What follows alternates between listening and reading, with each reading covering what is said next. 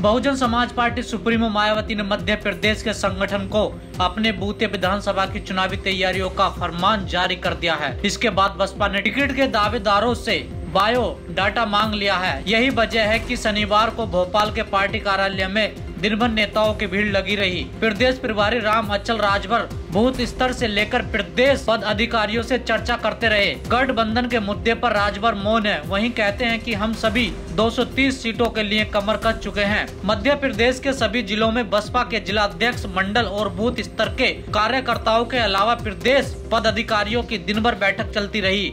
Party के प्रदेश पदाधिकारी विधायक एवं पिछले चुनाव के पराजित प्रत्याशी भी भोपाल पहुँचे। बैठक को प्रदेश प्रभारी, राजभर एवं प्रदेश अध्यक्ष प्रदीप अहिरबार ने संबोधित किया।